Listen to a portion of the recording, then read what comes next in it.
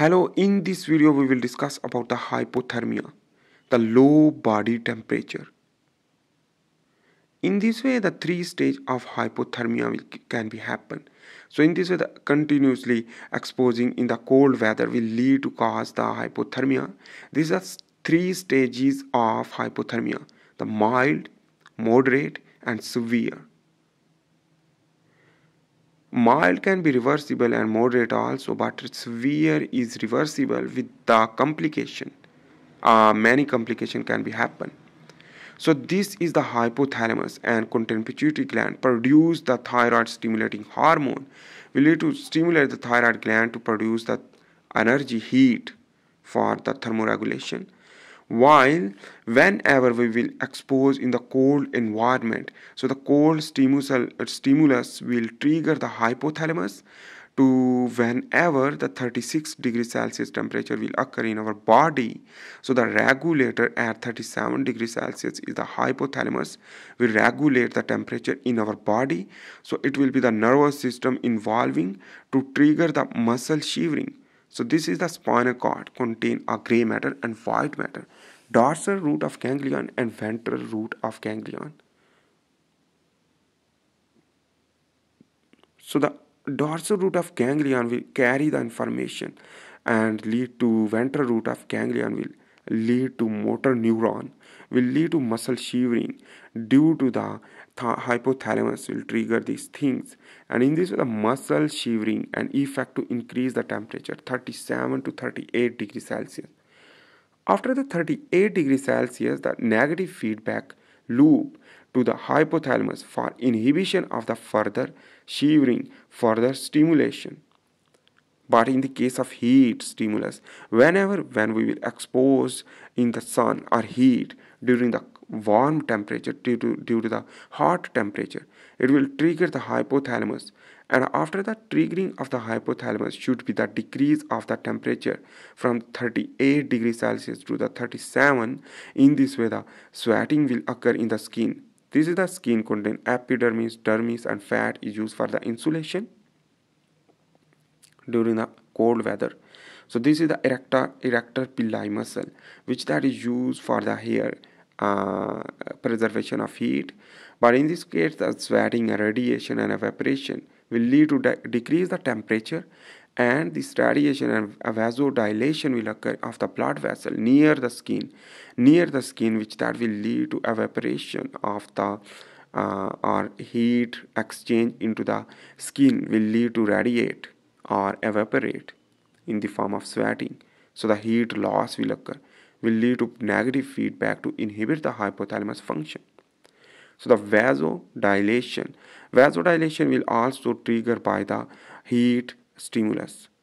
So anyhow, this let's begin to understand the cold exposure continuously will lead to here is the cold effect is the peripheral vasoconstriction will lead to stasis and in this way the stasis after due to the endothelial injury. The endothelial injury will lead to thrombosis formation and this thrombosis will block the artery or vein. And after the blocking of the artery the hypoxia will occur. In this way the low level of oxygen will lead to anaerobic respiration. Anaerobic respiration of the tissue will lead to cause the ischemia and stroke and lactic acidosis. The lactic acid and vascular insufficiency of the oxygen will lead to ph will decrease more acidic and can also cause the death. Let's begin to understand the severe hypothermia. That is the danger for us. So the metabolism of muscle will lead to shivering muscle more require more oxygen but low oxygen levels lead to acidosis.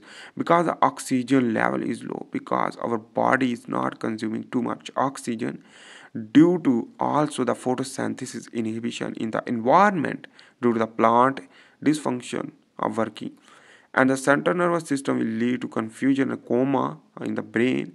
Cardiac effect is the uh, vasoconstriction will lead to atria fiber which that is ventricular fiber lead to cause cardiac arrest if respiratory we will discuss the respiratory respiratory rate will be increased and the bronchospasm due to the cold uh, cold air will move into the lungs will lead to more cold of the lungs. So the mask is very important for inhibition this and respiratory drive will decrease and apnea. And cold drive divers uh, sorry cold diuresis and renal gastrointestinal motility will occur and the blood cell the enzyme dysfunction and the platelet dysfunction and impaired will lead to coagulopathy let's begin to understand the cellular effect of cold in the cell. So we are taking one cell to understand the enzyme denaturation due to the optimum temperature is not available and the water will be released due to the constriction, the shrinking of the cell and the dehydration will occur and the sodium, calcium, chloride and potassium is the electrolyte will be imbalanced. The membrane will be damaged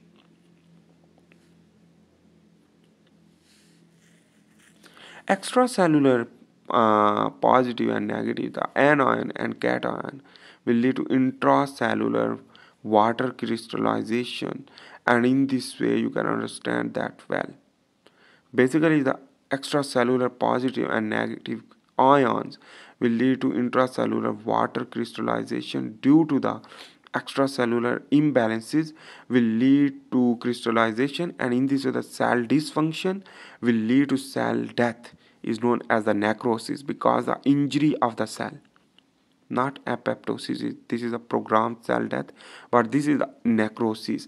Necrosis means the injury of the cell will be lead to cause death.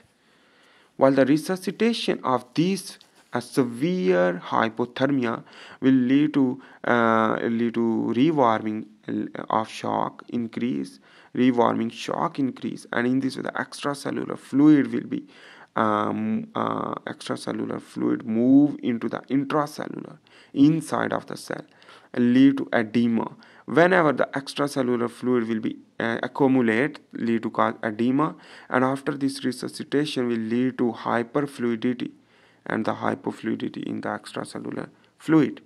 And in this way, the hypothermia we have discussed in this video the low body temperature and their complication. If you like this video, please make sure to subscribe, like, and share, and give the comment below to understand better. So, thanks for watching. See in the next video. For this time, bye.